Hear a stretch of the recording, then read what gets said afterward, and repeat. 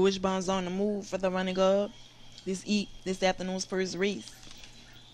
Here's Wishbone. Grounds off at the break. Four, two, three, one, eight, five, six, and seven. Headed up the front stretch around the first turn. Number eight has the lead. Motels, followed by number one Revis Rocket Man. Number two H has Miss Priest. And number three, Braska Riddle. Grounds headed down the back stretch. Eight, one, two, six, three, four, five, and seven. Around the far turn.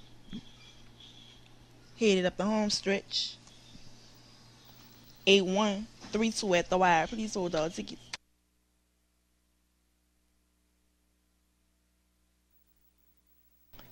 And coming in fourth position, number two, HL's Miss Priest. Mutuel prices are listed on the eyes board.